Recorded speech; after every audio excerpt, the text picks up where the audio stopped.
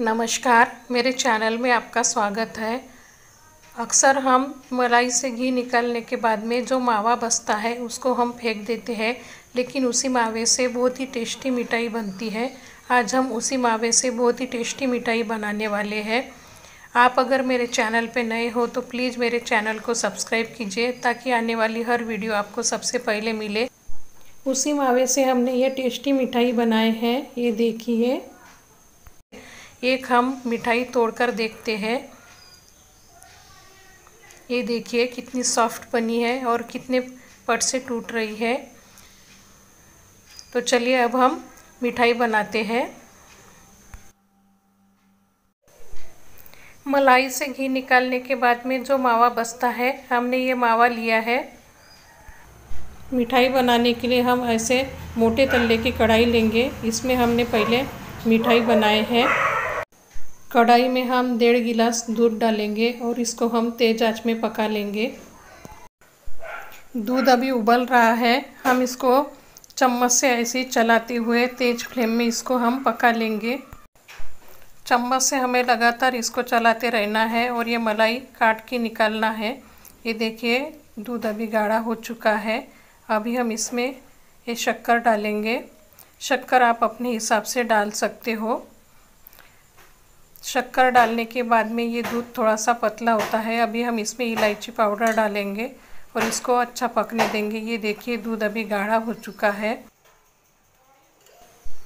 अभी हम इसमें ये मावा डालेंगे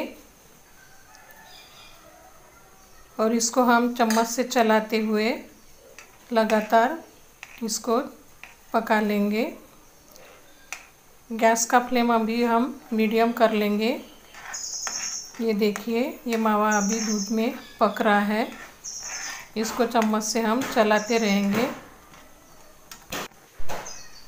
ये मिश्रण अभी गाढ़ा हो रहा है, तब तक हम इसको जमाने की तैयारी कर लेंगे। हम एक थाली में घी लगा लेंगे, पूरा फैला लेंगे उसको। इस तरीके से ये मिश्रण अभी गाढ़ा हो हो रहा है।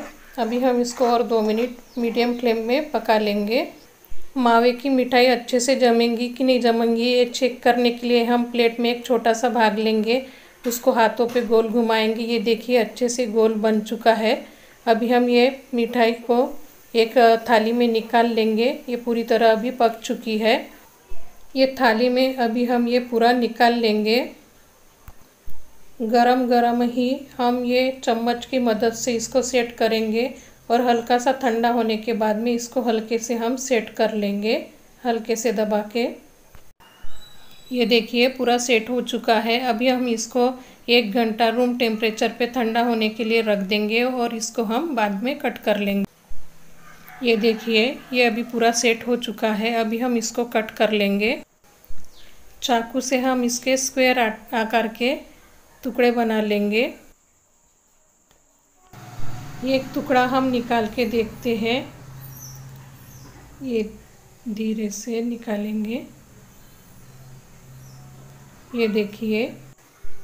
ये देखिए फ्रेंड्स, घी निकलने के बाद जो मावा बचता है, उससे हमने ये बहुत ही टेस्टी मिठाई बनाई है। ये हम तोड़कर देखते हैं। ये देखिए कितनी सॉफ्ट बनी है। और कितने पट से टूट रही है। आपको ये मेरी वीडियो पसंद आई तो प्लीज़ लाइक कीजिए, सब्सक्राइब कीजिए और शेयर कीजिए। Thank you.